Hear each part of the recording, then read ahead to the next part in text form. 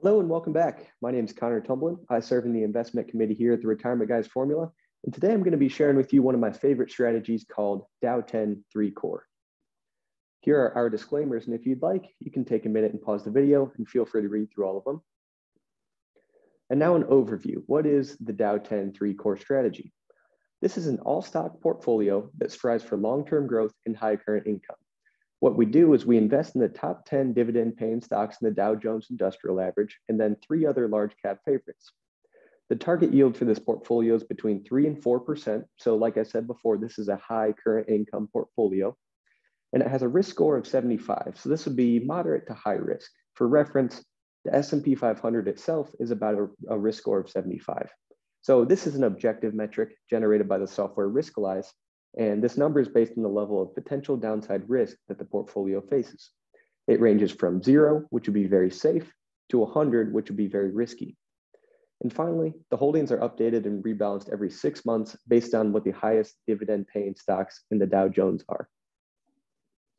So here's why I like this portfolio. The Dow 10 companies are dividend paying blue chip stocks, which have a steady history of paying dividends. These companies are fundamentally sound, and economic conditions tend not to alter their dividend payments that much. So the fact that their dividend yields are elevated with respect to their lower stock price implies that they're nearing the bottom of their economic cycle and they're due for a swing back to the upside. So what you're left with is a high dividend paying stock that's likely due for a rebound.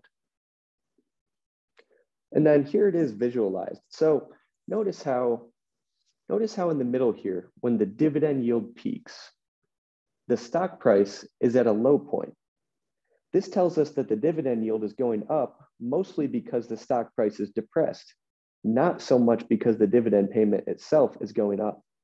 So notice how after the dividend yield peaks, and therefore the stock price is at a low, after this happens, the stock price tends to rebound. So this is the idea behind this strategy. If the dividend yield is high, which is what we're looking for for the stocks in this portfolio, that tends to mean, in these types of stocks at least, that the stock price is at a low point. And after the stock price is at a low point, when we try to buy them, they might have a nice rebound upwards afterward. So what you're left with is a high dividend paying stock, which is due for a rebound. Of course, this is no guarantee, but this is the idea of the portfolio. So now getting into the portfolio's tendencies, with a beta of 0.76, this portfolio is less reactive to market events than the S&P 500. For reference, a beta of 1.0 would mean it moves in strong correlation to the market. So this makes sense because these are going to be, like I said before, blue chip companies, which are more mature and they're not as affected by market events than some other companies.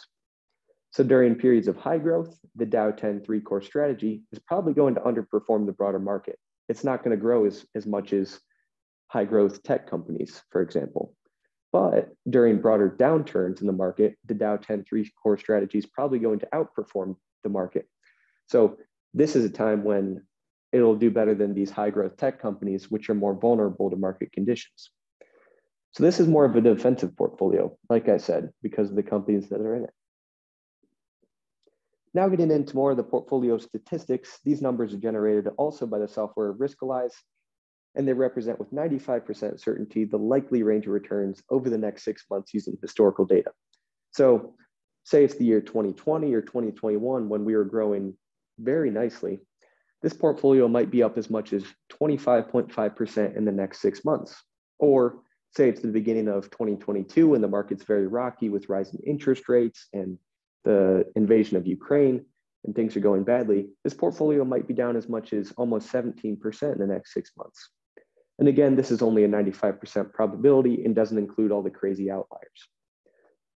The portfolio has a distribution rate on an annualized basis of 3.24% and an expense ratio of 0% because it's an all stock portfolio. Of course, this doesn't take into account the management fees that you pay to your advisor or retirement guys formula.